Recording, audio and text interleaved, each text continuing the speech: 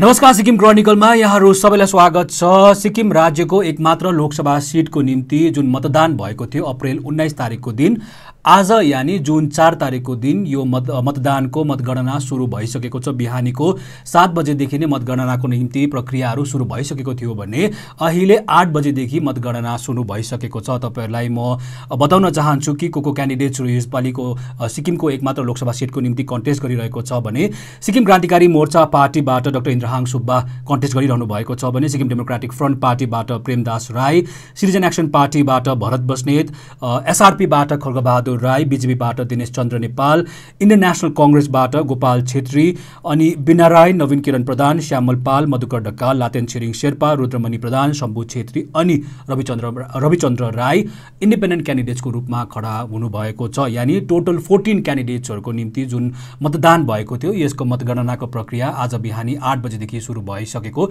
जानकारी गराइएको छ। यसरी नै आज नै भारतको जुन अठारौँ लोकसभाको निम्ति जुन मतदान भएको थियो यसको पनि आज नै मतदा मतगणना भइरहेको छ भने भारतभरि नै यो प्रोसेस सुरु भइसकेको छ र आज बेलुकीभित्रमा सबै कुरा क्लियर भइसक्ने पनि जानकारी गराइएको छ। केही दिन अघि मात्र यानि जुन दुई तारिकको दिन सिक्किमको विधानसभाको पनि जुन मतदान भएको थियो यसको पनि मतगणना भइसकेको छ भने सिक्किम राज्यमा अबको पाँच वर्ष सिक्किम क्रान्तिकारी मोर्चा पार्टीले नै सरकार बनाउने तय भएको छ।